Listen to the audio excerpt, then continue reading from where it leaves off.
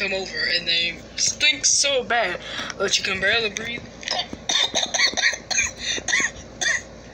then maybe try air freshener and scented Freddy.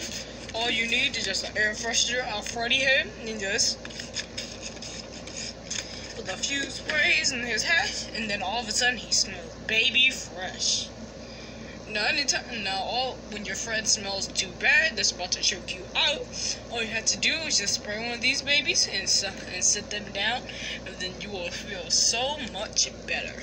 Your room will smell just like a baby's bottom.